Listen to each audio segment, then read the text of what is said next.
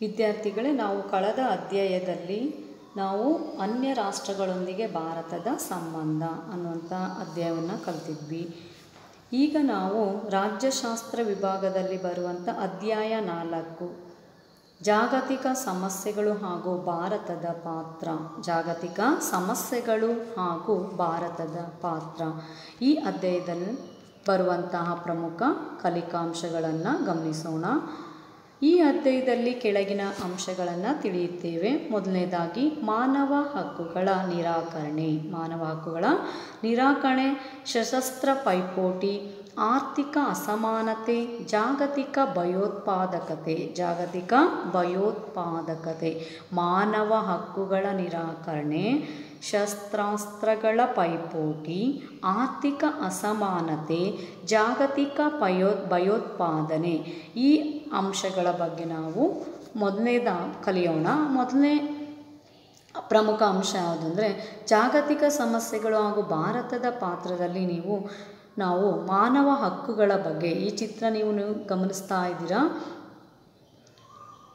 ಹಾಗೆ ದ್ವಿತೀಯ ಜಾಗತಿಕ ಯುದ್ಧದ ಬಳಿಕ ವಸಾತು ಶಾಯಿತ್ವ ಹಾಗೂ ಸಾಮ್ರಾಜ್ಯ ಶಾಯಿತ್ವ ಪತನಗೊಂಡವು.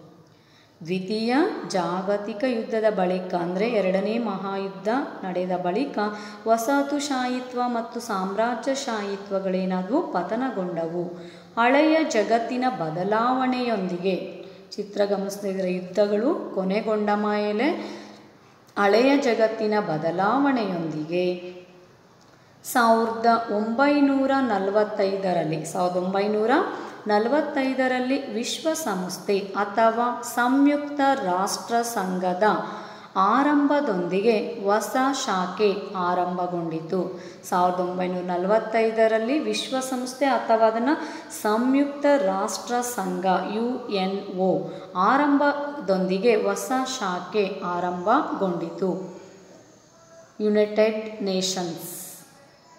ಆದರೂ ಜಾಗತಿಕವಾಗಿ ಮಾನವ ಆದರೂ ಜಾಗತಿಕವಾಗಿ ಮಾನವ ಹಕ್ಕುಗಳು, ಶಸ್ತ್ರಾಸ್ತ್ರಗಳ ಪೈಪೋಟಿ, ಆರ್ಥಿಕ ಅಸಮಾನತೆ, ವರ್ಣಭೇದ ನೀತಿ ಹಾಗೂ ಹಲವಾರು ಹಾಗೂ ಭಯೋತ್ಪಾದಕತೆ ಹೀಗೆ ಹಲವಾರು ಸಮಸ್ಯೆಗಳು ಇನ್ನೂ ಹಾಗೆಯೇ ಉಳಿದುಕೊಂಡಿವೆ. ಯಾವ್ಯಾವ ಸಮಸ್ಯೆಗಳು ಇನ್ನೂ ಹಾಗೆ ಉಳ್ಕೊಂಡಿದ್ದೇವಪ್ಪ ಅಂದರೆ ಜಾಗತಿಕವಾಗಿ ಮಾನವ ಹಕ್ಕುಗಳು ಶಸ್ತ್ರಾಸ್ತ್ರಗಳ ಪೈಪೋಟಿ, ಆರ್ಥಿಕ ಅಸಮಾನತೆ ವರ್ಣಭೇದ ನೀತಿ ಹಾಗೂ ಭಯೋತ್ಪಾದಕತೆಯಂತಹ ಸಮಸ್ಯೆಗಳು ಇನ್ನೂ ಕೂಡ ಹಾಗೆ ಉಳಿದುಕೊಂಡಿವೆ. ವಿಶ್ವ ಕುಟುಂಬದ ಸದಸ್ಯ, ವಿಶ್ವ ಕುಟುಂಬದ ಓರ್ವ ಮುಂಚೂಣಿಯ ಸದಸ್ಯ ರಾಷ್ಟ್ರವಾಗಿ ಭಾರತ, ವಿಶ್ವ ಕುಟುಂಬದ ಓರ್ವ ಮುಂಚೂಣಿಯ ಸದಸ್ಯ ರಾಷ್ಟ್ರವಾಗಿ ಭಾರತ ಈ ಎಲ್ಲ ಜಾಗತಿಕ ಸಮಸ್ಯೆಗಳನ್ನು, ಸಮಸ್ಯೆಗಳ ಪರಿಹಾರಕ್ಕಾಗಿ ಪೂರಕ ಪ್ರಯತ್ನ ನಡೆ, ನಡೆಸುತ್ತಿದೆ. ವಿಶ್ವ ಕುಟುಂಬದ ಓರ್ವ ಒಂದು ಮುಂಚೂಣಿಯ ಸದಸ್ಯ ರಾಷ್ಟ್ರವಾಗಿ ಭಾರತ. ಸದಸ್ಯ ರಾಷ್ಟ್ರವಾಗಿ ಭಾರತ. ಎಲ್ಲ ಜಾಗತಿಕ ಎಲ್ಲ ಜಾಗತಿಕ ಸಮಸ್ಯೆಗಳ ಪರಿಹಾರಕ್ಕಾಗಿ ಪೂರಕವಾದಂಥ ಒಂದು ಪ್ರಯತ್ನವನ್ನು ನಡೆಸುತ್ತಿದೆ. ಮಾನವ ಹಕ್ಕುಗಳ ನಿರಾಕರಣೆ. ಮಾನವ ಹಕ್ಕುಗಳ ನಿರಾಕರಣೆ. ಮಾನವತಾವಾದಿಗಳು ಪ್ರತಿಯೊಬ್ಬನ ಜನ್ಮತಃ ಅಥವಾ ಹುಟ್ಟಿನಿಂದಲೇ ಬರತಕ್ಕ, ಬರತಕ್ಕಂತಹ ಹಕ್ಕುಗಳ ಬಗೆಗೆ ಪ್ರತಿಪಾದಿಸುತ್ತಾರೆ. ಮಾನವ ವಾ, ಮಾನವತಾವಾದಿಗಳು ಏನನ್ನು ಪ್ರತಿಪಾದನೆ ಮಾಡ್ತಾರೆ ಅಂದರೆ ಪ್ರತಿಯೊಬ್ಬನ ಪ್ರತಿಯೊಬ್ಬನ ಜನ್ಮತಃ ಅಥವಾ ಹುಟ್ಟಿನಿಂದಲೇ ಬರತಕ್ಕಾದ, ಬರತಕ್ಕಂತಹ ಹಕ್ಕುಗಳ ಬಗೆಗೆ ಇಲ್ಲಿ ಮಾನವತಾವಾದಿಗಳು ಪ್ರತಿಪಾದನೆಯನ್ನು ಮಾಡುತ್ತಾರೆ. ಹಾಗೆ ಮಾನವ ಹಕ್ಕುಗಳ ಮಾನವ ಹಕ್ಕುಗಳ ನಿರಾಕರಣೆಯಲ್ಲಿ ಅಂದರೆ ದುರಾದೃಷ್ಟವಶಾತ್ ಪ್ರಪಂಚದ ಬಹುತೇಕ ಮಂದಿ ಸುದೀರ್ಘ ಕಾಲಾವಧಿಯಲ್ಲಿ ಈ ಮಾನವ ಹಕ್ಕುಗಳನ್ನು ಅನುಭವಿಸಲಿಲ್ಲ. ಧರ್ಮ, ಜನಾಂಗ, ಲಿಂಗ, ಜಾತಿ, ವರ್ಣ ಹಾಗೂ ರಾಷ್ಟ್ರೀಯತೆ ಈ ಎಲ್ಲವುಗಳನ್ನು ಕಾರಣವಾಗಿರಿಸಿ ಮಾನವ ಹಕ್ಕುಗಳ ನಿರಾಕರಣೆ ಹಾಗೂ ಶೋಷಣೆಯನ್ನು ನಾವು ಕಾಣಬಹುದಾಗಿದೆ. ಯಾವ ಕಾರಣಗಳಿಂದ ಇವತ್ತು ಮಾನವ ಹಕ್ಕುಗಳ ನಿರಾಕರಣೆ ಉಂಟಾಗ್ತಾ ಇದೆ ಅಂದರೆ ಪ್ರಪಂಚದಲ್ಲಿ ಬಹುತೇಕ ಜನರು ಸುದೀರ್ಘ ಕಾಲದ, ಕಾಲಾವಧಿಯಲ್ಲಿ ಮಾನವ ಹಕ್ಕುಗಳನ್ನು ಅನುಭವಿಸುತ್ತಲೇ ಇಲ್ಲ. ಅಂದರೆ ಪಡೆದೇ ಕೊಂಡಿಲ್ಲ ಯಾವ ಯಾವ ಕಾರಣಗಳಿಂದ? ಧರ್ಮ, ಜನಾಂಗ, ಲಿಂಗ, ಜಾತಿ, ವರ್ಣ ಹಾಗೂ ರಾಷ್ಟ್ರೀಯತೆ ಈ ಎಲ್ಲ, ಈ ಎಲ್ಲವುಗಳನ್ನು ಕಾರಣವಾಗಿಸಿಕೊಂಡು ಮಾನವ ಹಕ್ಕುಗಳ ನಿರಾಕರಣೆ ಹಾಗೂ ಶೋಷಣೆಯನ್ನು ನಾವಿಲ್ಲಿ ಕಾಣಬಹುದಾಗಿದೆ. ಸಾವಿರದ ಏಳ್ನೂರ ಎಪ್ಪತ್ತಾರರ ಅಮೇರಿಕಾದ ಸ್ವಾತಂತ್ರ್ಯ ಯುದ್ಧ ಸಾವಿರದ ಏಳ್ನೂರ ಸಾವಿರದ ಏಳ್ನೂರ ಎಂಬತ್ತೊಂಬತ್ತರ ಫ್ರಾನ್ಸಿನ ಆ ಮಹಾಕ್ರಾಂತಿ, ಸಾವಿರದ ಸಾವಿರದ ಒಂಬೈನೂರ ಹದಿನೇಳರ ರಾಸ್, ರಷ್ಯಾ ಕ್ರಾಂತಿ, ಇಪ್ಪತ್ತನೇ ಶತಮಾನದ ಪ್ರವರ್ಧಮ, ಏನು ಪ್ರಪ್ರಥ, ಪ್ರಥಮಾರ್ಧದ ಭಾರತ ಹಾಗೂ ಇನ್ನಿತರ ರಾಷ್ಟ್ರಗಳ ಸ್ವಾತಂತ್ರ್ಯ ಹೋರಾಟ. ಇವೆಲ್ಲ, ಇವೆಲ್ಲವೂ ಮಾನವ ಹಕ್ಕುಗಳ ಹೋರಾಟಕ್ಕೆ ಪುಷ್ಟಿ ತಂದುಕೊಟ್ಟಂತಹ ಅಂಶಗಳಾಗಿವೆ. ಮಾನವ ಹಕ್ಕುಗಳ ನಿರಾಕರಣೆ ಅಂದರೆ ಹೋರಾಟಕ್ಕೆ ಪ್ರೇರಣೆ ನೀಡಿದಂತಹ ಘಟನೆಗಳು ಯಾವ್ಯಾವು ಅಂದರೆ ಸಾವಿರದ ಏಳ್ನೂರ ಎಪ್ಪತ್ತಾರರಲ್ಲಿ ನಡೆದಂತಹ ಅಮೇರಿಕಾದ ಸ್ವಾತಂತ್ರ್ಯ ಯುದ್ಧ, ಹಾಗೆ ಸಾವಿರದ ಏಳ್ನೂರ ಎಂಬತ್ತೊಂಬತ್ತರಲ್ಲಿ ಫ್ರಾನ್ಸ್ನಲ್ಲಿ ನಡೆದಂಥ ಮಹಾಕ್ರಾಂತಿ ಹಾಗೂ ಸಾವಿರದ ಒಂಬೈನೂರ ಹದಿನೇಳರಲ್ಲಿ ನಡೆದ ರಷ್ಯಾ ಕ್ರಾಂತಿ, ಈ ಎಲ್ಲವುಗಳು ಇಪ್ಪತ್ತನೇ ಶತಮಾನದ ಪ್ರಥಮಾರ್ಧದ ಭಾರತ ಹಾಗೂ ಇನ್ನಿತರ ರಾಷ್ಟ್ರಗಳ ಸ್ವಾತಂತ್ರ್ಯ ಹೋರಾಟ, ಇವೆಲ್ಲವೂ ಕೂಡ, ಎಲ್ಲ ಘಟನೆಗಳು ಕೂಡ ಹೋರಾಟಕ್ಕೆ, ಮಾನವ ಹಕ್ಕುಗಳ ಹೋರಾಟಕ್ಕೆ ಪುಷ್ಟಿಯನ್ನು, ಪ್ರೇರಣೆಯನ್ನು ಒದಗಿಸುವಂತಹ ಘಟನೆಗಳಾಗಿವೆ. ಇವುಗಳಿಂದಾಗಿ, ಈ ಘಟನೆಗಳಿಂದಾಗಿ ಜಾಗತಿಕ ಮಾನವ ಹಕ್ಕುಗಳ ಘೋಷಣೆಯನ್ನು, ಮಾನವ ಹಕ್ಕುಗಳ ರಕ್ಷಣೆಯ ಇತಿಹಾಸದಲ್ಲಿ ಒಂದು ಪ್ರಮುಖ ಐತಿಹಾಸಿಕ ಮೈಲುಗಲ್ಲನ್ನಾಗಿ ಗುರುತಿಸಿಕೊಳ್ಳಲಾಗಿರುತ್ತದೆ. ಮಾನವ ಹಕ್ಕುಗಳ ಘೋಷಣೆಯನ್ನು ಮಾನವ ಹಕ್ಕುಗಳ ರಕ್ಷಣೆಯ ಇತಿಹಾಸದಲ್ಲೇ ಒಂದು ಪ್ರಮುಖವಾದಂಥ ಒಂದು ಐತಿಹಾಸಿಕ ಮೈಲುಗಲ್ಲನ್ನಾಗಿ ನಾವು ಗುರುತಿಸಲಾಗುತ್ತದೆ. ಅಂತಾರಾಷ್ಟ್ರೀಯ ತಜ್ಞರುಗಳಿಂದ ರಚಿಸಲ್ಪಟ್ಟ ಮಾನವ ಹಕ್ಕುಗಳ ಪರಿಕಲ್ಪನೆಯನ್ನು ಸಾವಿರದ ಒಂಬೈನೂರ ನಲವತ್ತೆಂಟು ಡಿಸೆಂಬರ್ ಹತ್ತರಂದು ವಿಶ್ವಸಂಸ್ಥೆ ಸಾಮಾನ್ಯ ಸಭೆ ಇದನ್ನು ಅಂಗೀಕರಿಸಿತು. ಸಾವಿರದ ಒಂಬೈನೂರ ಎಂಬತ್ನಾಲ್ಕು ಡಿಸೆಂಬರ್ ಹತ್ತರಂದು ವಿಶ್ವಸಂಸ್ಥೆ ಸಾಮಾನ್ಯ ಸಭೆಯಲ್ಲಿ ಮಾನವ ಹಕ್ಕುಗಳ ಪರಿಕಲ್ಪನೆಯನ್ನು ಅಂಗೀಕರಿಸಿತು.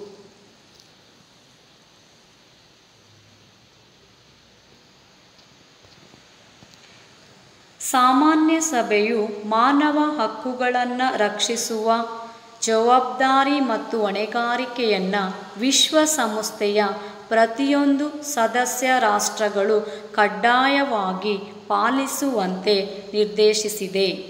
ವಿಶ್ವಸಂಸ್ಥೆ ಪ್ರತಿಯೊಂದು ಸದಸ್ಯ ರಾಷ್ಟ್ರಗಳು ಕಡ್ಡಾಯವಾಗಿ ಕಡ್ಡಾಯವಾಗಿ ಮಾನವ ಹಕ್ಕುಗಳನ್ನು ರಕ್ಷಿಸಬೇಕು, ಆ ರಕ್ಷಿಸುವಂಥ ಜವಾಬ್ದಾರಿ ಮತ್ತು ಹೊಣೆಗಾರಿಕೆಯನ್ನು ಹೊಂದಿರಬೇಕು ಅನ್, ಅನ್ನುವಂಥದ್ದನ್ನು ನಿರ್ದೇಶನವನ್ನು ಮಾಡಿರುವುದು. ಈ ರೀತಿಯ ನಿರ್ದೇಶನ ಪಡೆದ ಸದಸ್ಯ ರಾಷ್ಟ್ರಗಳು ಮಾನವ ಹಕ್ಕುಗಳ ರಕ್ಷಣೆಯನ್ನು ಮಾಡುವುದಕ್ಕೆ ಪೂರಕವಾದ ಮಾರ್ಗಸೂಚಿಯನ್ನು ಪೂರಕವಾದ ಮಾರ್ಗಸೂಚಿಯನ್ನು ವಿಶ್ವಸಂಸ್ಥೆಯ ಮಾನವ ಹಕ್ಕುಗಳ ಘೋಷಣೆಯಲ್ಲಿ ನೀಡಲಾಗಿದೆ. ಈ ಮಾರ್ಗಸೂಚಿಗಳನ್ನು ಮುಖ್ಯವಾಗಿ ಮೂವತ್ತು ಕಲಂಗಳಲ್ಲಿ ತಿಳಿಸಲಾಗಿದೆ. ಉದಾಹರಣೆಗೆ, ಪ್ರತಿಯೊಬ್ಬ ವ್ಯಕ್ತಿ ಪ್ರತಿಯೊಬ್ಬ ವ್ಯಕ್ತಿ ಹುಟ್ಟಿನಿಂದಲೇ ಸ್ವಾತಂತ್ರ್ಯ ಸಮಾನತೆ ಹಾಗೂ ಘನತೆಯನ್ನು ಹೊಂದಿರುವುದು. ವ್ಯಕ್ತಿ ಹುಟ್ಟಿನಿಂದಲೇ ಸ್ವಾತಂತ್ರ್ಯ ಸಮಾನತೆ ಹಾಗೂ ಘನತೆಯನ್ನು ಹೊಂದಿರುವುದು. ಹುಟ್ಟಿನಿಂದಲೇ ಸ್ವಾತಂತ್ರ್ಯ, ಸಮಾನತೆ ಹಾಗೂ ಘನತೆಯನ್ನು ಹೊಂದಿರುವುದು ಜೀವಿಸುವ ಸ್ವಾತಂತ್ರ್ಯ ಮತ್ತು ವೈಯಕ್ತಿಕ ಭದ್ರತೆ. ಹೊಂದಿರುವುದು ಗುಲಾಮಗಿರಿ ಪದ್ಧತಿ ನಿಷೇಧ, ಗುಲಾಮಗಿರಿ ಪದ್ಧತಿ ನಿಷೇಧ, ಮಹಿಳಾ ಶೋಷಣೆ ಮಹಿಳಾ ಶೋಷಣೆ ಮುಕ್ತಗೊಳಿಸುವುದು, ಮಹಿಳಾ ಶೋಷಣೆ ಮುಕ್ತಗೊಳಿಸುವುದು ಮುಂತಾದವುಗಳು ಸಾರ್ವತ್ರಿಕ ಮಾನವ ಹಕ್ಕುಗಳನ್ನು ಭಾರತ ನಿರಂತರ ಪ್ರ, ನಿರಂತರ ಪ್ರತಿಪಾದಿಸುತ್ತಾ ಬಂದಿದೆ. ಭಾರತ ಸಂವಿಧಾನದಲ್ಲಿ, ಭಾರತದ ಸಂವಿಧಾನದಲ್ಲಿ ಮೂರನೇ, ಮೂರನೆಯ ಭಾಗದಲ್ಲಿ ಹನ್ನೆರಡರಿಂದ ಮೂವತ್ತೈದರವರೆಗಿನ ವಿಧಿಗಳ ಅಡಿಯಲ್ಲಿ ಮೂಲಭೂತ ಹಕ್ಕುಗಳನ್ನು ನಮೂದಿಸಿದೆ. ವಿದ್ಯಾರ್ಥಿಗಳೇ, ಸಂವಿಧಾನದ ವಿಧಿಯಲ್ಲಿ, ಅಂದರೆ ನಮ್ಮ ಸಂವಿಧಾನದ ಮೂರನೆಯ ಭಾಗದಲ್ಲಿ ಹನ್ನೆರಡರಿಂದ ಮೂವತ್ತೈದರವರೆಗಿನ ವಿಧಿಗಳ ಅಡಿಯಲ್ಲಿ ಮೂಲಭೂತ ಹಕ್ಕುಗಳನ್ನು ನಮೂದಿಸಿದೆ. ಈ ವಿಚಾರದ ಬಗೆಗೆ ಬೆಳಕು ಚೆಲ್ಲಿದೆ. ವಿಶ್ವಸಂಸ್ಥೆಯ ಇಲ್ಲಿ ಮೂರನೇ ಭಾಗ, ಹನ್ನೆರಡರಿಂದ ಮೂವತ್ತೈದರವರೆಗಿನ ವಿಧಿಯ ಅಡಿಯಲ್ಲಿ ಮೂಲಭೂತ ಹಕ್ಕುಗಳನ್ನು ಅದು ಏನು ರಕ್ಷಣೆ ಮಾಡಿರುವಂಥದ್ದು, ರಕ್ಷಿಸ, ರಕ್ಷ ಸುರಕ್ಷಿತವಾಗಿರಬೇಕೆಂಬುದನ್ನು ಭಾರತ ಸಮರ್ಥಿಸುತ್ತಾ ಬಂದಿರುವುದು. ವಿಶ್ವದಾದ್ಯಂತ ಮಾನವ ಹಕ್ಕುಗಳನ್ನು ರಕ್ಷಿಸು, ರಕ್ಷಿಸುತ್ತಾ ಆಗಿರಬೇಕು, ರಕ್ಷಿಸುತ್ತಾ, ರಕ್ಷಿ, ರಕ್ಷಿಸಿ, ಸುರಕ್ಷಿತವಾಗಿರಬೇಕೆಂಬುದು ಭಾರತದ ಪ್ರತಿಪಾದನೆ.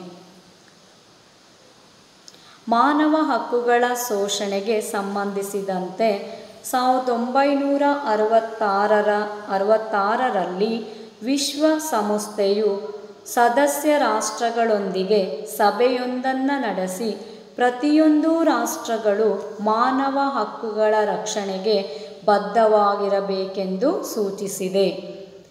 ಇದರ ಪರಿಣಾಮವಾಗಿ ಮಾನವ ಹಕ್ಕುಗಳ ಸಂರಕ್ಷಣೆಗಾಗಿ ಅಂತಾರಾಷ್ಟ್ರೀಯ ಮಟ್ಟದಲ್ಲಿ ಮಾನವ ಹಕ್ಕುಗಳ ಆಯೋಗವನ್ನು ರಚಿಸಲಾಗಿದೆ.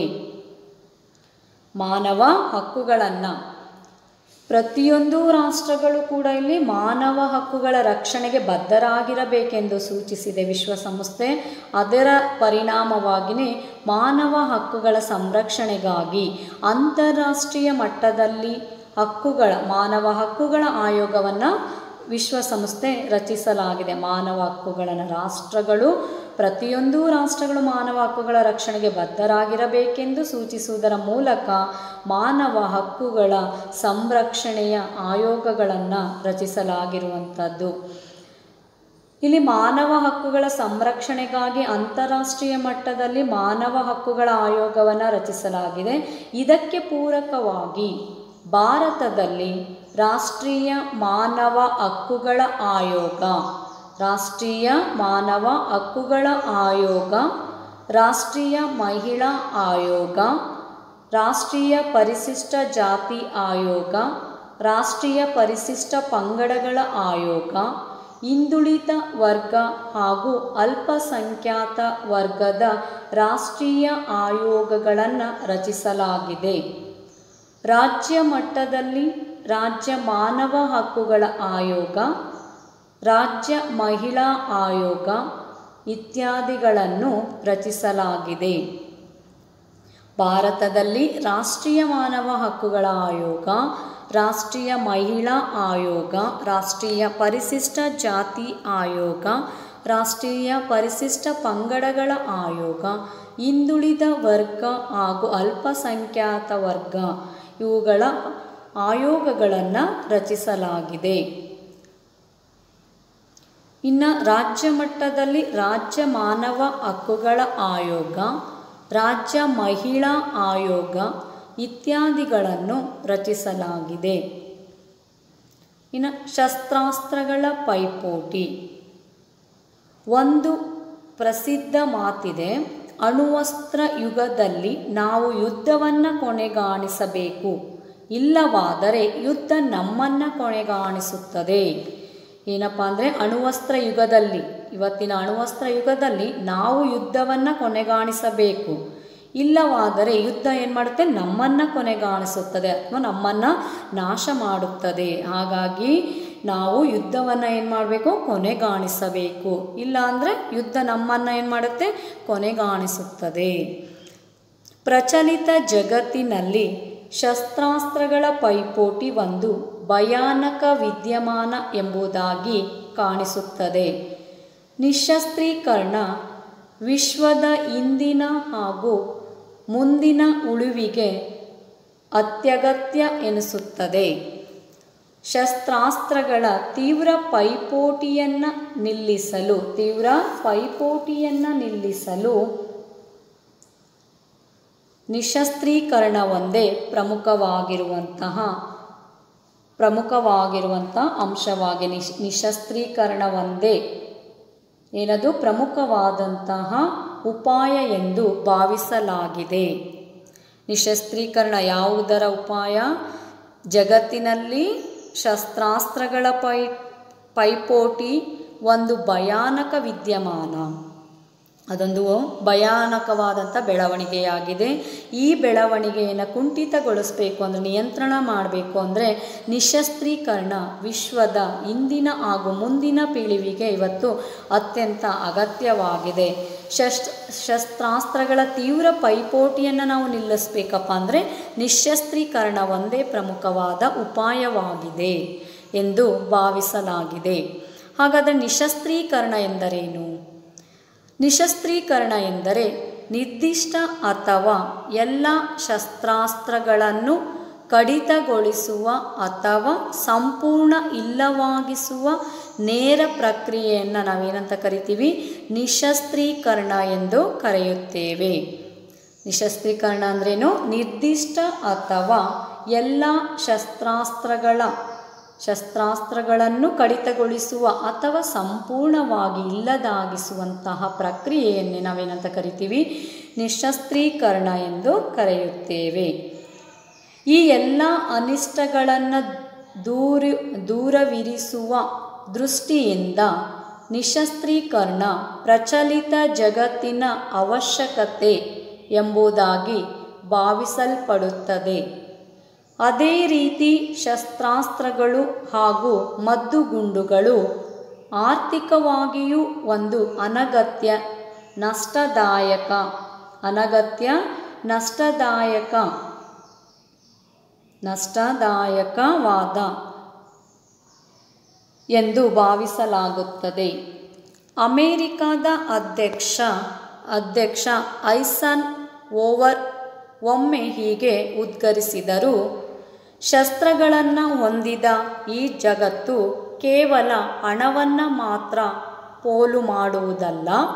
ಬದಲಾಗಿ ಕಾರ್ಮಿಕರ ಬೆವರನ್ನು ಕಾರ್ಮಿಕರ ಬೆವರನ್ನು ಹಾಗೂ ವಿಜ್ಞಾನಿಗಳ ವಿಜ್ಞಾನಿಗಳ ಬುದ್ಧಿವಂತಿಕೆಯನ್ನು ಹಾಗೂ ಮಕ್ಕಳ ಆಸೆಗಳನ್ನು ವ್ಯಯಗೊಳಿಸುತ್ತದೆ ಎಂದು ತಿಳಿಸಿದ್ದಾರೆ. ಅಮೆರಿಕದ ಅಧ್ಯಕ್ಷರು ಅಧ್ಯಕ್ಷರಾದಂಥ ಐಸನ್ ಓವರ್ ಅವರು ಏನು ಅಭಿಪ್ರಾಯ ಪಡ್ತಾರಪ್ಪ ಅಂದರೆ, ಶಸ್ತ್ರಗಳನ್ನು ತಯಾರು ಮಾಡೋದಿದೆಯಲ್ಲ, ಈ ಶಸ್ತ್ರಗಳನ್ನು ಹೊಂದಿದಂಥ ಈ ಜಗತ್ತು ಕೇವಲ ಇವತ್ತು ಹಣವನ್ನು ಮಾತ್ರ ಪೋಲ್ ಮಾಡ್ತಾ ಇಲ್ಲ. ಬದಲಾಗಿ ಕಾರ್ಮಿಕರ ಬೆವರನ್ನು, ವಿಜ್ಞಾನಿಗಳ ಬುದ್ಧಿವಂತಿಕೆಯನ್ನು ಮತ್ತು ಮಕ್ಕಳ ಆಸೆಗಳನ್ನು ವ್ಯಯ ಮಾಡುತ್ತಿದೆ, ವ್ಯಯಗೊಳಿಸುತ್ತಿದೆ ಎಂಬುದನ್ನು ಇಲ್ಲಿ ಅವರು ಸ್ಪಷ್ಟಪಡಿಸುತ್ತಾರೆ. ಅಂದ್ರೇನು ಅಂದರೆ, ಶಸ್ತ್ರಾಸ್ತ್ರಗಳನ್ನು ತಯಾರಿಸೋದಕ್ಕೆ ಹಣ ಬೇಕು. ಆ ಹಣ ಅಷ್ಟೇ ಪೋಲಾಗ್ತಾ ಇಲ್ಲ. ಅದನ್ನು ತಯಾರಿಸಲು, ಅದನ್ನು ಕಂಡಿಡಿದಂಥ ಅದನ್ನು ಸಂಶೋಧನೆ ಮಾಡಿದಂಥ ವಿಜ್ಞಾನಿಗಳ ಬುದ್ಧಿವಂತಿಕೆ ಮತ್ತು ಅದನ್ನು ತಯಾರಿಸಲು ಪ ಶ್ರಮಪಟ್ಟಂಥ ಕಾರ್ಮಿಕರ ಶ್ರಮವನ್ನು ಮತ್ತು ವಿದ್ಯಾರ್ಥಿಗಳ ಆಸೆ ಎಲ್ಲ ಕೂಡ ಇಲ್ಲಿ ಏನಾಗುತ್ತೆ? ವ್ಯಯವಾಗುತ್ತದೆ ಎಂದು, ವ್ಯರ್ಥವಾಗುತ್ತದೆ ಎಂದು ಅವರು ತಿಳಿಸುತ್ತಾರೆ. ಅಣುವಸ್ತ್ರ ಅಥವಾ ನ್ಯೂಕ್ಲಿಯರ್ ಬಾಂಬುಗಳ ತಯಾರಿಕೆಯೊಂದಿಗೆ ನಿಶಸ್ತ್ರೀಕರಣ ಅಥವಾ ಶಸ್ತ್ರ ನಿಯಂತ್ರಣದ ಪ್ರಶ್ನೆ ತೀವ್ರ, ಗಂಭೀರ ಎಂದು ಪರಿಗಣಿಸಲಾಗಿದೆ. ಚಿತ್ರ ನೋಡ್ತಾ ಇದ್ರೆ, ಅಣುವಸ್ತ್ರ ಅಥವಾ ನ್ಯೂಕ್ಲಿಯರ್ ಬಾಂಬುಗಳ ತಯಾರಿಕೆಯೊಂದಿಗೆ ನಿಶಸ್ತ್ರೀಕರಣ ಅಥವಾ ಶಸ್ತ್ರ ನಿಯಂತ್ರಣದ ಪ್ರಶ್ನೆ ತೀವ್ರ, ಗಂಭೀರ ಎಂದು ಪರಿಗಣಿಸಲಾಗುತ್ತದೆ.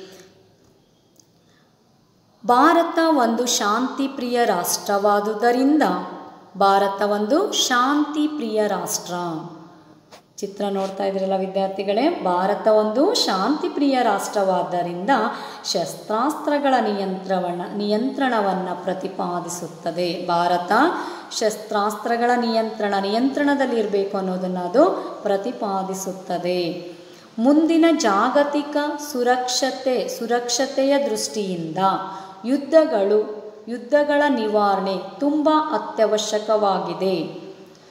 ಸಾವಿರದ ಒಂಬೈನೂರ ಸಾವಿರದ ಒಂಬೈನೂರ ಅರವತ್ತ್ಮೂರರ ಬಳಿಕ ಅಮೇರಿಕ ಸಂಯುಕ್ತ ಸಂಸ್ಥಾನ ಹಾಗೂ ಸೋವಿಯತ್ ರಷ್ಯಾ ಹಲವಾರು ದ್ವಿಪಕ್ಷೀಯ ಒಪ್ಪಂದಗಳನ್ನು ಮಾಡಿಕೊಂಡಿವೆ.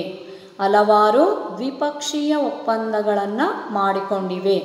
ಅಮೇರಿಕ ಮತ್ತು ರಷ್ಯಾ ರಾಷ್ಟ್ರಗಳು ಸಾವಿರದ ಒಂಬೈನೂರ ಅರವತ್ತ್ಮೂರರ ಬಳಿಕ ದ್ವಿಪಕ್ಷೀಯ ಒಪ್ಪಂದಗಳನ್ನು ಮಾಡಿಕೊಂಡಿವೆ.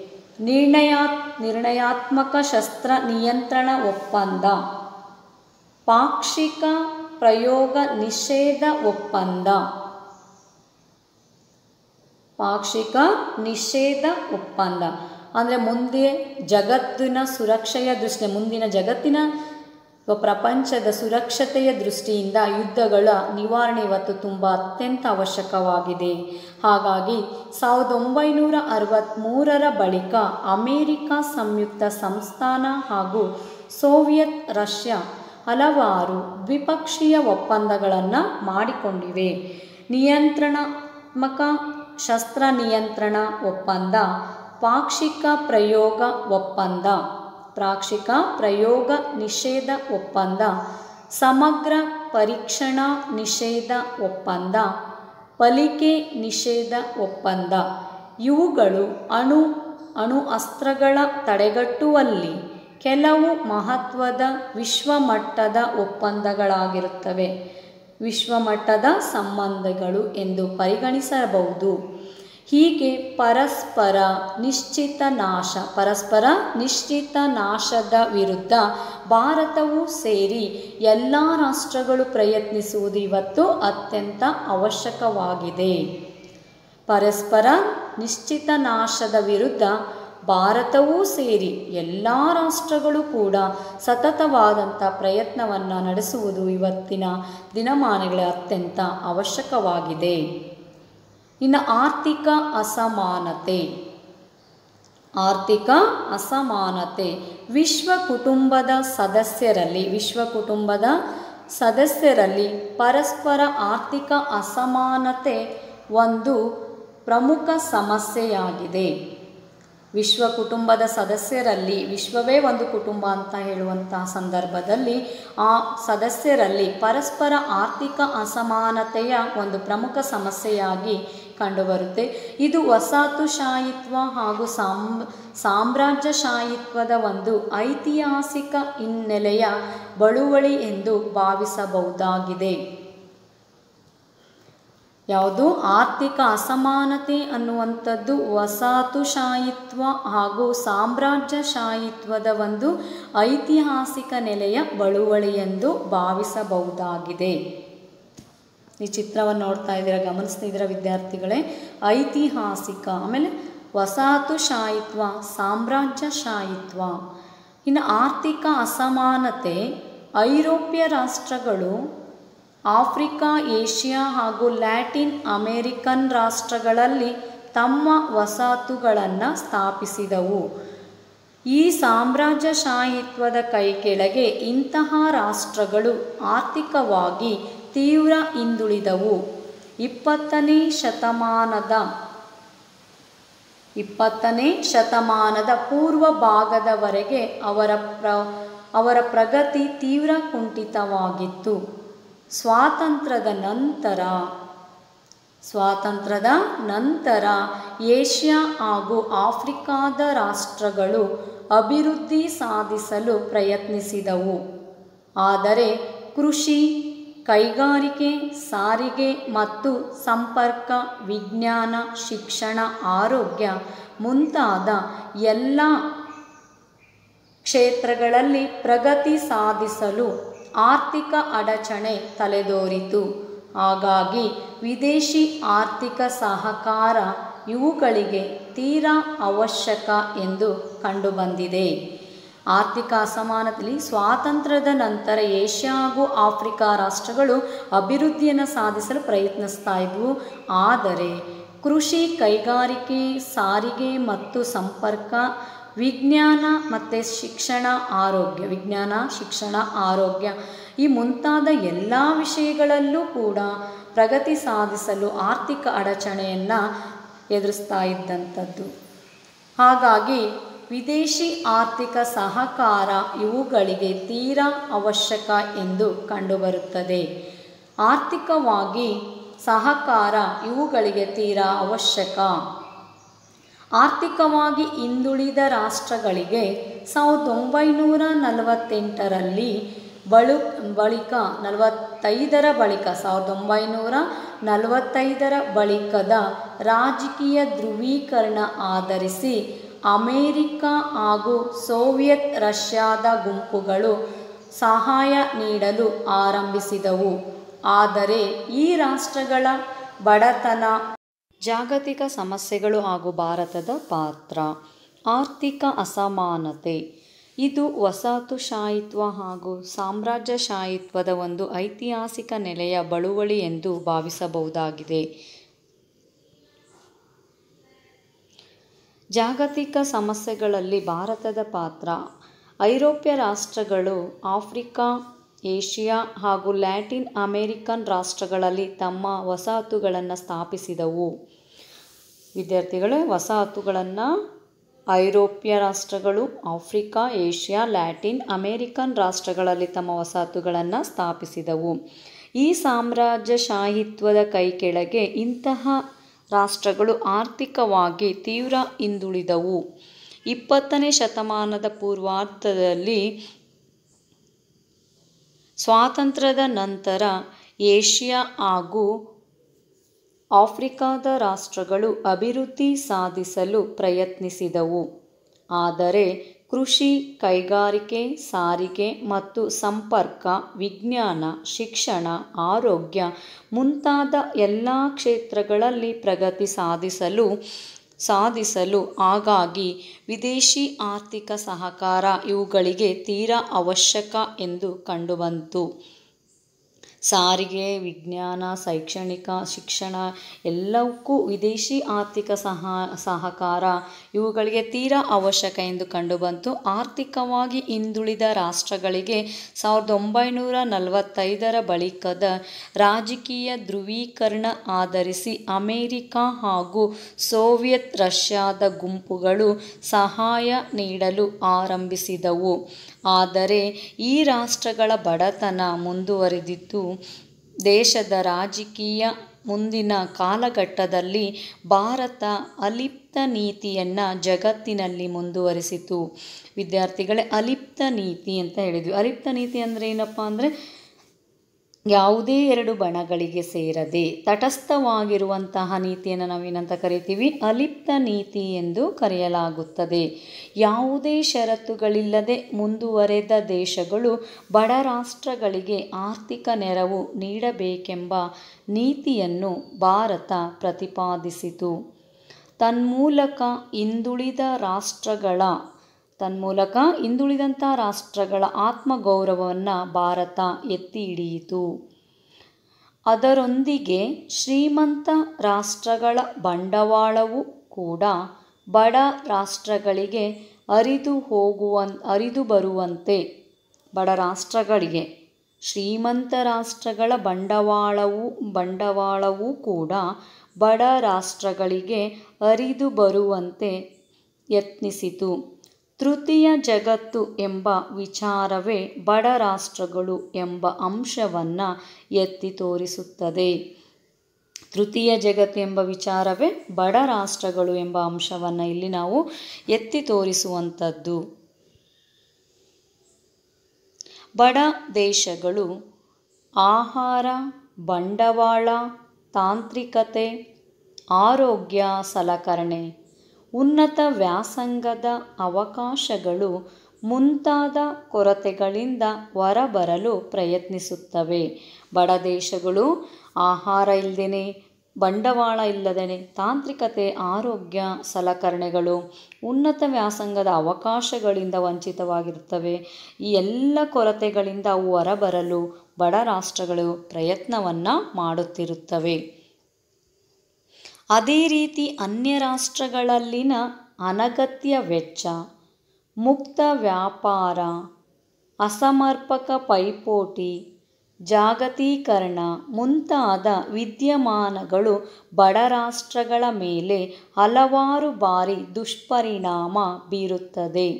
ಅದೇ ರೀತಿ ಅನ್ಯ ರಾಷ್ಟ್ರಗಳಲ್ಲಿನ ಅನಗತ್ಯ ವೆಚ್ಚ ಮುಕ್ತ ವ್ಯಾಪಾರ ಅಸಮರ್ಪಕ ಪೈಪೋಟಿ, ಜಾಗತೀಕರಣ ಮುಂತಾದ ವಿದ್ಯಮಾನಗಳು ಬಡ ರಾಷ್ಟ್ರಗಳ ಮೇಲೆ ಹಲವಾರು ಬಾರಿ ದುಷ್ಪರಿಣಾಮಗಳನ್ನು ಬೀರುತ್ತಿವೆ. ಅದೇ ರೀತಿ ಅನ್ಯ ರಾಷ್ಟ್ರಗಳಲ್ಲಿನ ಅನಗತ್ಯ ವೆಚ್ಚ. ಬಡ ದೇಶಗಳು, ಚಿತ್ರ ನೋಡ್ತಾ ಇದ್ದೀರ ವಿದ್ಯಾರ್ಥಿಗಳೇ ಗಮನಿಸ್ತಾ ಇದ್ದೀರಾ? ಬಡ ದೇಶಗಳು. ಮುಂದುವರೆದ ದೇಶ. ಅದೇ ರೀತಿ ಅನ್ಯ ರಾಷ್ಟ್ರಗಳಲ್ಲಿನ ಅನಗತ್ಯ ವೆಚ್ಚ, ಮುಕ್ತ ವ್ಯಾಪಾರ, ಅಸಮರ್ಪಕ ಪೈಪೋಟಿ, ಜಾಗತೀಕರಣ ಮುಂತಾದ ವಿದ್ಯಮಾನಗಳು ಬಡ ರಾಷ್ಟ್ರಗಳ ಮೇಲೆ ಪ್ರಭಾವವನ್ನು ಬೀರುತ್ತವೆ. ಅಭಿವೃದ್ಧಿ ಹೊಂದಿದ ರಾಷ್ಟ್ರಗಳು, ಬಡ ರಾಷ್ಟ್ರಗಳ ಬೃಹತ್ ಕಂಪನಿಗಳು, ಸ್ಥಳೀಯ ವ್ಯಾಪಾರಿಗಳು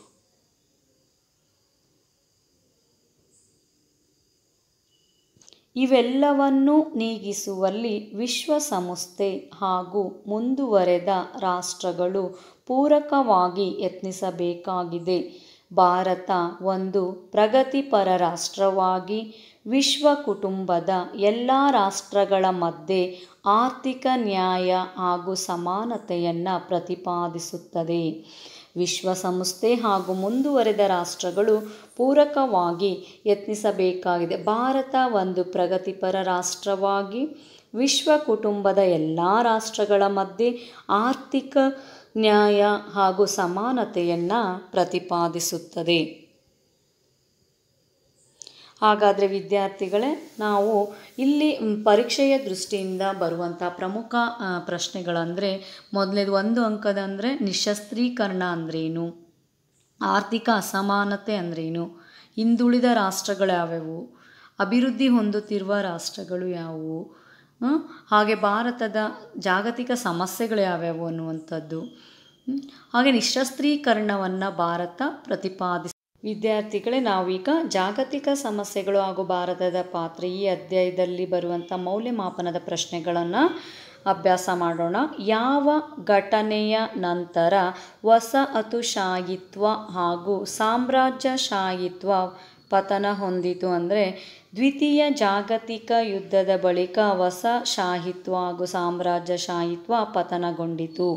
ಯಾವ ಘಟನೆಯ ನಂತರ ಹೊಸ ಹೊಸ ಶಾ ವಸಾಹತು ಶಾಹಿತ್ವ ಮತ್ತು ಸಾಮ್ರಾಜ್ಯಶಾಹಿತ್ವ ಪತನಗೊಂಡಿತಪ್ಪ ಅಂದರೆ ಎರಡನೇ ಜಾಗತಿಕ ಅಂದರೆ ಎರಡನೇ ಮಹಾಯುದ್ಧದ ಬಳಿಕ.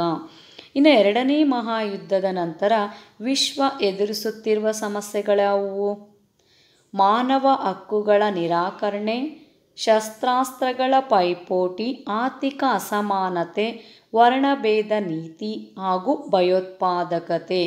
ಈ ಎಲ್ಲ ಪ್ರ, ಅಂಶಗಳು, ಈ ಎಲ್ಲ ಸಮಸ್ಯೆಗಳನ್ನು ಭಾರತ ಎದುರಿಸುತ್ತಿತ್ತು. ಎರಡನೇ ಮಹಾಯುದ್ಧದ ನಂತರ ವಿಶ್ವ ಎದುರಿಸುತ್ತಿರುವಂಥ ಸಮಸ್ಯೆಗಳು ಅಂದರೆ, ಮಾನವ ಹಕ್ಕುಗಳ ನಿರಾಕರಣೆ, ಶಸ್ತ್ರಾಸ್ತ್ರಗಳ ಪೈಪೋಟಿ, ಆರ್ಥಿಕ ಅಸಮಾನತೆ, ವರ್ಣಭೇದ ನೀತಿ ಹಾಗೂ ಭಯೋತ್ಪಾದಕತೆ. ಮೂರನೇ ಪ್ರಶ್ನೆಯನ್ನು ನೋಡೋಣ. ಮಾನವತಾವಾದಿಗಳು ಯಾವ ಹಕ್ಕುಗಳ ಬಗೆಗೆ ಪ್ರತಿಪಾದಿಸುತ್ತಾರೆ? ಮಾನವತಾವಾದಿಗಳು ಪ್ರತಿಯೊಬ್ಬನ ಜನ್ಮತಃ ಅಥವಾ ಹುಟ್ಟಿನಿಂದಲೇ ಬರುವ ಹಕ್ಕುಗಳ ಬಗೆಗೆ ಪ್ರತಿಪಾದಿಸುತ್ತಾರೆ.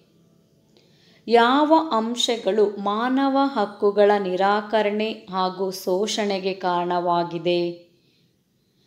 ಧರ್ಮ, ಜನಾಂಗ, ಲಿಂಗ, ಜಾತಿ, ವರ್ಣ ಹಾಗೂ ರಾಷ್ಟ್ರೀಯತೆ ಈ ಎಲ್ಲ ಕಾರಣವಾಗಿ ಕಾರಣಗಳು ಮಾನವ ಹಕ್ಕುಗಳ ನಿರಾ ನಿರಾಕರಣೆ ಹಾಗೂ ಶೋಷಣೆಗೆ ಕಾರಣವಾಗಬಹುದಾಗಿದೆ.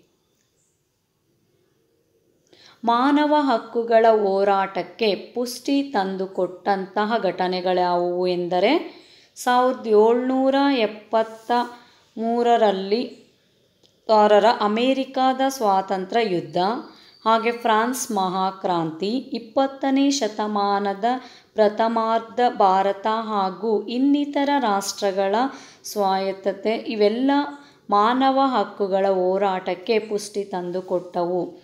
ಮಾನವ ಹಕ್ಕುಗಳ ಪರಿಕಲ್ಪನೆಯನ್ನು ಎಷ್ಟರಲ್ಲಿ ವಿಶ್ವಸಂಸ್ಥೆ ಸಾಮಾನ್ಯ ಸಭೆ ಅಂಗೀಕರಿಸಿತು?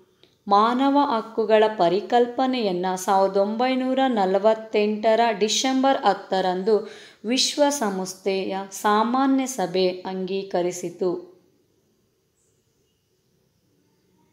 ಮಾನವ ಹಕ್ಕುಗಳು ಭಾರತದ ಸಂವಿಧಾನದಲ್ಲಿ ಹೇಗೆ ಅಳವಡಿಸಲಾಗಿದೆ? ಮಾನವ ಹಕ್ಕುಗಳನ್ನು ಭಾರತ ಸಂವಿಧಾನದಲ್ಲಿ ಮೂರನೇ ಭಾಗದಲ್ಲಿ ಹನ್ನೆರಡನೇ ವಿ, ವಿಧಿಗಳ ಹನ್ನೆರಡರ ವಿಧಿಗಳ ಅಡಿಯಲ್ಲಿ ಮೂಲಭೂತ ಹಕ್ಕುಗಳ ರೂಪದಲ್ಲಿ ನಮೂದಿಸಿದೆ. ಮಾನವ ಹಕ್ಕುಗಳ ರಕ್ಷಣೆಗೆ ಭಾರತದಲ್ಲಿ ರಚಿಸಿರುವ ಆಯೋಗಗಳು ಯಾವುವು? ಮಾನವ ಹಕ್ಕುಗಳ ರಕ್ಷಣೆಗಾಗಿ ಭಾರತದಲ್ಲಿ ರಾಷ್ಟ್ರೀಯ ಮಾನವ ಹಕ್ಕುಗಳ ಮಹಿಳಾ ಆಯೋಗ, ರಾಷ್ಟ್ರೀಯ ಪರಿಶಿಷ್ಟ ಜಾತಿ ಆಯೋಗ, ರಾಷ್ಟ್ರೀಯ ಪರಿಶಿಷ್ಟ ಪಂಗಡಗಳ ಆಯೋಗ, ಹಿಂದುಳಿದ ವರ್ಗ ಹಾಗೂ ಅಲ್ಪಸಂಖ್ಯಾತ ವರ್ಗದ ರಾಷ್ಟ್ರೀಯ ಆಯೋಗಗಳನ್ನು ರಚಿಸಲಾಗಿದೆ. ಶಸ್ತ್ರಾಸ್ತ್ರಗಳ ಪೈಪೋಟಿಯಿಂದಾಗುವ ಅನಾಹುತ ತಪ್ಪಿಸಲು ಇರುವ ಮಾರ್ಗಗಳ್ಯಾವುವು ಶಸ್ತ್ರಾಸ್ತ್ರಗಳ ತೀವ್ರ ಪೈಪೋಟಿಯನ್ನು ನಿಲ್ಲಿಸಲು ನಿಶಸ್ತ್ರೀಕರಣವೊಂದೇ ಪ್ರಥಮ ಉಪಾಯವಾಗಿರುವಂಥದ್ದು. ಹಾಗಾದರೆ ನಿಶಸ್ತ್ರೀಕರಣ ಎಂದರೇನು? ನಿಶಸ್ತ್ರೀಕರಣ ಎಂದರೆ ನಿರ್ದಿಷ್ಟ ಅಥವಾ ಎಲ್ಲ ಶಸ್ತ್ರಾಸ್ತ್ರಗಳನ್ನು ಕಡಿತಗೊಳಿಸಿ, ಸಂಪೂರ್ಣ ಇಲ್ಲದಾಗಿಸುವ, ಕಡಿತಗೊಳಿಸುವುದು ಅಥವಾ ಸಂಪೂರ್ಣವಾಗಿ ಇಲ್ಲದಾಗಿಸುವ ನೇರ ಪ್ರಕ್ರಿಯೆಯನ್ನೇ ನಾವು ನಿಶಸ್ತ್ರೀಕರಣ ಎಂದು ಕರೆಯುತ್ತೇವೆ. ನಿಶಸ್ತ್ರೀಕರಣ ಅಂದರೆ ಏನಾಗಾದರೆ ವಿದ್ಯಾರ್ಥಿಗಳೇ ಗಮನ ಇಟ್ಟು ಕೇಳ್ರಿ. ನಿರ್ದಿಷ್ಟ ಅಥವಾ ಎಲ್ಲ ಶಸ್ತ್ರಾಸ್ತ್ರಗಳನ್ನು ಕಡಿತಗೊಳಿಸುವುದು ಅಥವಾ ಸಂಪೂರ್ಣವಾಗಿ ಇಲ್ಲದಾಗಿಸುವ ನೇರ ಪ್ರಕ್ರಿಯೆಯನ್ನೇ ನಾವೇನಂತ ಕರಿತೀವಿ? ನಿಶಸ್ತ್ರೀಕರಣ ಎಂದು ಕರೆಯುತ್ತೇವೆ. ಶಸ್ತ್ರಾಸ್ತ್ರಗಳ ಪೈಪೋಟಿಯಿಂದಾಗುವ ಅನಾಹುತಗಳು ಯಾವುವು? ಶಸ್ತ್ರಾಸ್ತ್ರಗಳ ಸ್ಪರ್ಧೆಯಿಂದ ವಿಶ್ವದಾದ್ಯಂತ ಭಯ, ಅಸ್ಥಿರತೆ, ಚಡಪಡಿಕೆ ಹಾಗೂ ತಲೆದೋರುತ್ತದೆ. ಇನ್ನು ಶಸ್ತ್ರಾಸ್ತ್ರಗಳ ಪೈಪೋಟಿ ಕುರಿತು ಅಮೇರಿಕಾದ ಅಧ್ಯಕ್ಷ ಐಸನ್ ಓವರ್ ಅವರು ಅಭಿಪ್ರಾಯವೇನು? ಅಮೇರಿಕಾದ ಅಧ್ಯಕ್ಷ ಐಸನ್ ಓವರ್ ಒಮ್ಮೆ ಹೀಗೆ ಉದ್ಗರಿಸಿದರು ಶಸ್ತ್ರಗಳು ಈ ಜಗತ್ತು ಕೇವಲ ಹಣವನ್ನು ಮಾತ್ರ ಪೋಲು ಮಾಡುವುದಿಲ್ಲ. ಬದಲಾಗಿ ಕಾರ್ಮಿಕರ ವಿಜ್ಞಾನಿಗಳ ಬುದ್ಧಿವಂತಿಕೆಯನ್ನು ಹಾಗೂ ಮಕ್ಕಳ ಆಸೆಗಳನ್ನು ವ್ಯಯಗೊಳಿಸುತ್ತದೆ ಎಂದು ಉದ್ಗರಿಸಿದರು. ನಿಶಸ್ತ್ರೀಕರಣ ಅಥವಾ ಶಸ್ತ್ರ ನಿಯಂತ್ರಣದ ಪ್ರಶ್ನೆ ತೀವ್ರ ಗಂಭೀರ ಎಂದು ಏಕೆ ಹೇಳುತ್ತಾರೆ? ಅಣ್ವಸ್ತ್ರ ಅಥವಾ ನ್ಯೂಕ್ಲಿಯರ್ ಬಾಂಬುಗಳ ತಯಾರಿಕೆಯೊಂದಿಗೆ ನಿಶಸ್ತ್ರೀಕರಣ ನಿಯಂತ್ರಣದ ಪ್ರಶ್ನೆ ತೀರಾ ಗಂಭೀರ ಎಂದು ಪರಿಗಣಿಸಲಾಗಿದೆ. ನೆಕ್ಸ್ಟ್ ಪ್ರಶ್ನೆ, ಎಂದಿನಿಂದ ಅಮೇರಿಕ ಹಾಗೂ ರಷ್ಯಾಗಳ ನಡುವೆ ನಿಶಸ್ತ್ರೀಕರಣ ಒಪ್ಪಂದಗಳಿವೆ? ಪ್ರಾರಂಭಗೊಂಡಿತು.